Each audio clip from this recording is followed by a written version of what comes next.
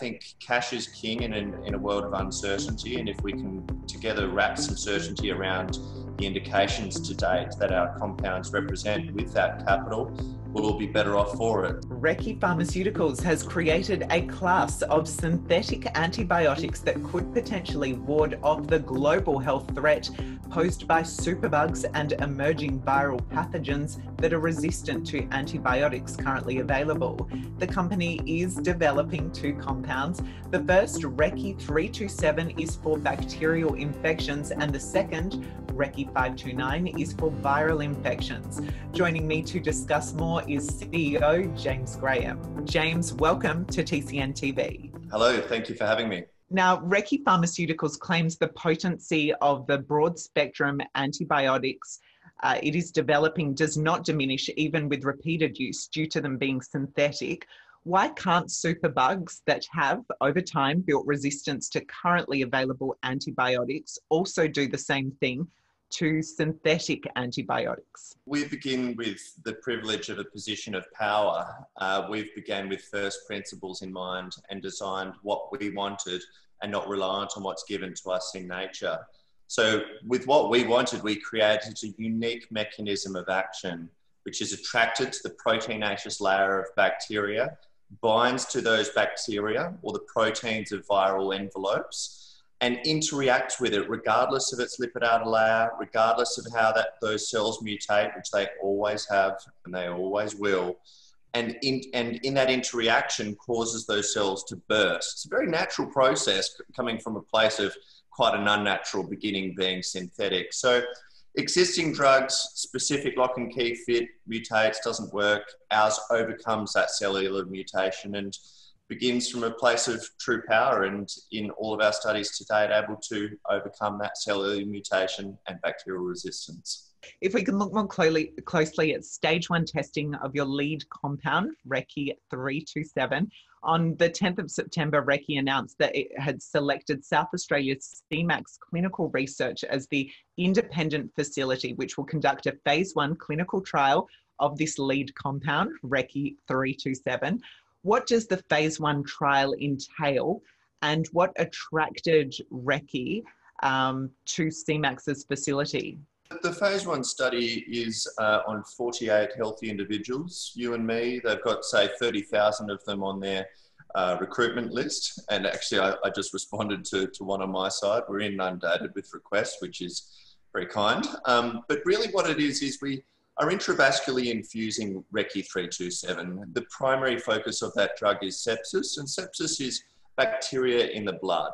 Spreads very quickly, number one most expensive condition treated in health. So the, the challenge of existing drugs is to get on top of bacterial infections in the blood. They're having extraordinary challenge in doing that. Our studies to date have demonstrated great capability, and we want to step that capability up into humans now and it's at uh, the Adelaide facility of CMAX that has world leading um, regulatory uh, capability as well as a significant patient population uh, amongst the healthy individuals that we first start in to assess our compound. Now, Recce indicated the first subjects to be screened in the phase one trial of Recce 327 will be in the December quarter.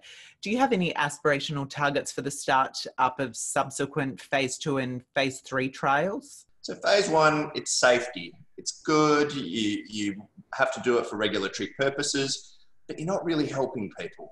You're just following a regulatory pathway. The ability to help people and see what that could mean on an international basis running in parallel in Western Australia. That, that's what I get excited about. Investors get excited about our revenues. Uh, Recce also already has a, a manufacturing facility in Sydney that will produce its anti infectives for both domestic and international markets. Realistically, though, any production related revenue streams from Recce's suite of compounds are still some years away. In the meantime, will some licensing and or partnership agreements be signed? This is appropriately a, a capital growth journey, assuming positive news flow and, and everything we seek. Um, the natural basis of drug development is obviously each stage you get closer and closer to that market, and the capital hopefully uh, capital growth hopefully reflects that. Um, the beauty about an expanding program uh, in the space of infectious diseases is we really have a minimum of four primary indications working in parallel to each other with a lot of data share synergy between each of those. Now, what that means is not only do you have the upside opportunity and downside risk protection, but you start to look geographically across those indications. So Helicobacter pylori, by example, which is stomach ulcers in humans, huge patient population through Asia, many, many millions, tens of millions. Um, what this could mean for that region and what it could mean for us as a potential license or, or, or something similar to that um, is substantial. So yes, those big parties, if you know, it's obvious we're talking about pharmaceutical companies here uh, in conversation with us. Uh, whether it will make strategic sense now or a little further into the future, we'll see. But um, the unmet medical need is there, and that's obvious. And now, earlier this month, Recce announced it had received an Innovation Connections grant of around 38,000 under the Australian Government's Entrepreneurs Program. Is this something that you'll be pursuing, more government supplied research and development funding? Um, and what would current studies need to show in order to secure future funding?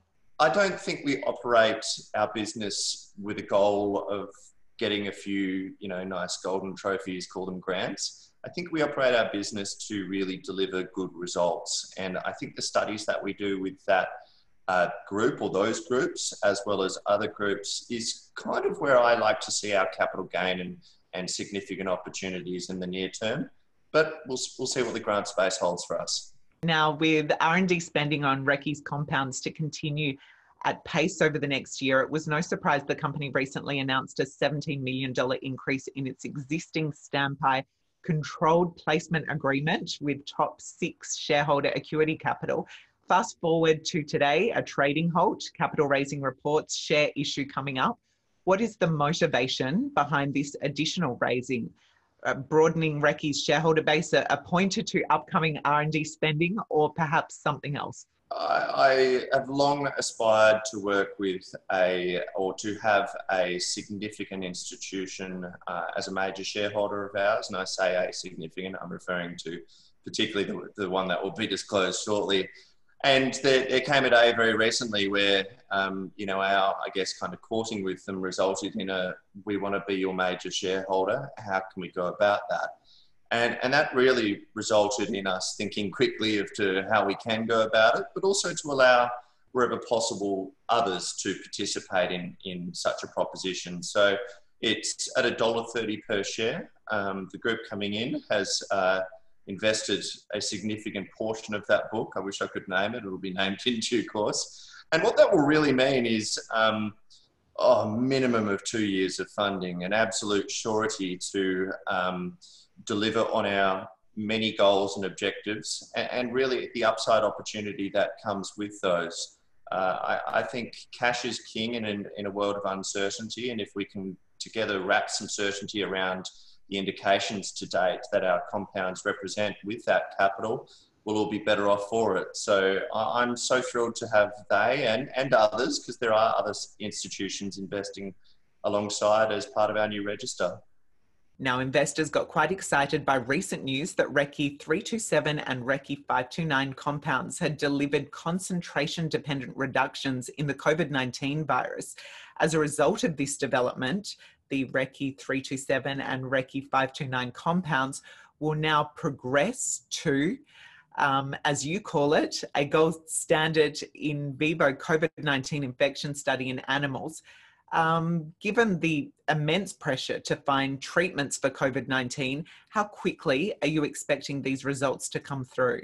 Yeah, that was a that was a thrill, and I say a thrill because it's nice to get ahead in our programs, but really our, our technical team, and I represent the commercial side of the team. Our technical team was going, it's going to work. Of course, it's going to work. It's just a virus. We've worked on viruses with a similar RNA profile recently. It's just a virus we, we attach a little emotion to due to obviously the pandemic around us. So what that really means is yes, uh, dose dependent efficacy. As you increase the concentration, the efficacy goes up.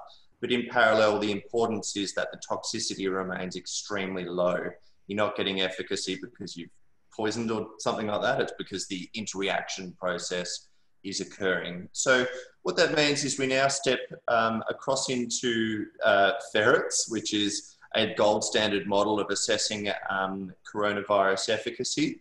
We do that in the United States. Uh, that's assessing a nasal administration, so uh, getting onto the into the respiratory tract on top of the virus in the um, lungs of these animals.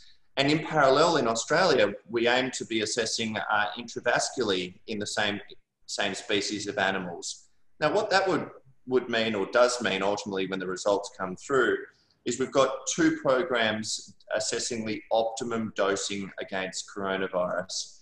If there is demonstrated efficacy in vivo in these animals against coronavirus, and by example, that same formula is being administered into healthy human individuals, what that could mean to further expedite our program um, is something we strategically are, are working on. So a lot of opportunity, a lot of shots on goal, and, and I think a fair bit of news flow to come from it. Look, finally, your share price. Six months ago, the Recce share price was under 30 cents. Today, it's more than five times that, despite your um, new classes of synthetic anti infectives only now just starting a multi phase testing process. How much of this rally is attributable to investors buying any pharma stock that has a COVID 19 thematic attached to it? or what do you put the interest in Recce down to? Oh, I think it's the recognition of the importance of new medicine, and the importance of medicine goes across the entire infectious disease framework that we operate in. Um, you know, gone are the days where you get one uh, uh, course of antibiotics. You now get the same course with many follow-on repeats to get over that same problem. And the reason that happens is the drugs don't work, and that's increasingly a threat we've said it for many years, the, the experts in the field have said it, and now people are going, oh goodness, there are viral threats around us, there are bacterial threats going, and we need new medicine. Well, thank you so much for your insights today and all the best for your growth plans ahead. Many thanks and thank you for watching. Now, if you like what you see, please be sure to like and share the video, subscribe to TCN TV and drop us a comment. Tell us who you would like to see and what you would like me to ask them. Or if you're an investor, be sure to send us an email so we can keep you in the loop with the latest ideas to empower.